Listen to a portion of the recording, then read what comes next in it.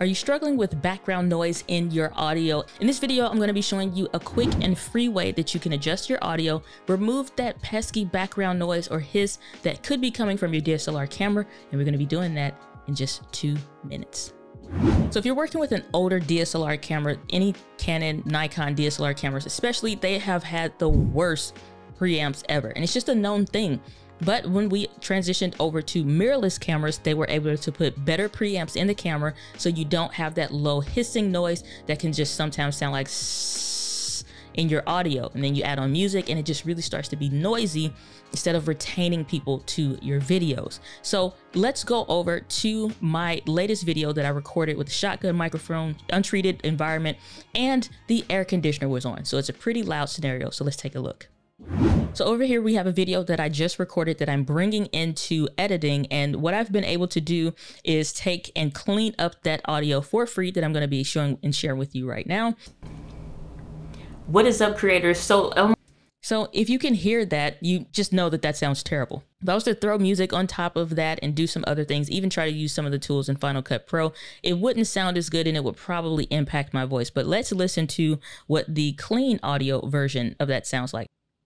What is up creators? So on my last video about the Z so you hear the difference. It is difference between it being clean versus it being pretty much screwed up and ugly sounding. So I'm going to show you how I was able to fix that in Auphonic.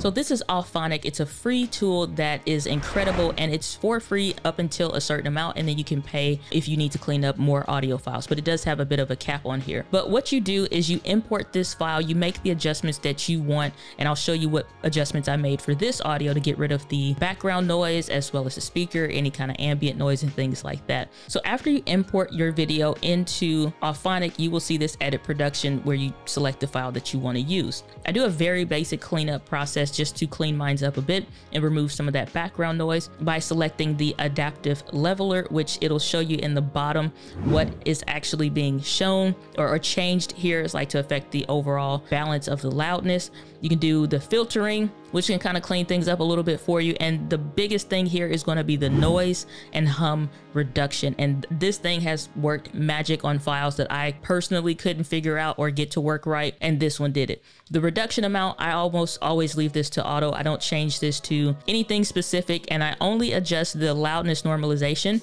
if I need to set this at a specific LUFS for generally for podcasts. Anything else, I don't worry about that. I just leave it as is. And that's how I was able to fix the audio file. So once I drag this back into Final Cut Pro 10, all I now need to do so that when I'm beginning the edit, I haven't made any changes yet, I'm just going to lower this audio here, select both of them and make a compound clip. And I usually just will call this something like clean audio uh, or something like that so that I know it's that specific compound clip. It'll smush it all together and I'm good to go. So if you want to know how to sync your audio in Final Cut Pro, if you do have multiple tracks, make sure you click and check out the next video on the screen or another video that YouTube feels would be super helpful for you to check out.